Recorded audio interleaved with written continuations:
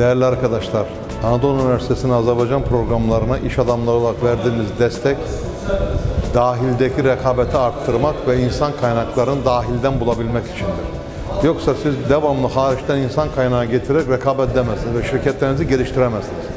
Dahili insanları yetiştireceksiniz, uluslararası malumatlara ulaşacaksınız, uluslararası bilgilerden donatacaksınız ve rekabetçi olacaksınız. Ümmiyetle Azerbaycan'da insan resursları meselesinde Cenab Prezidentimizin büyük tapşırığı var. İnsan resurslarına yatırım yapılmalı ve insan kapitali oluşturulmalıdır. Buna göre Anadolu Üniversitesi'nin bu programlarına biz İş Adamları Asosiyasyonu olarak, ATİB olarak, Azerbaycan Türkiye İş Adamları Birliği olarak gönüllü destek veririk.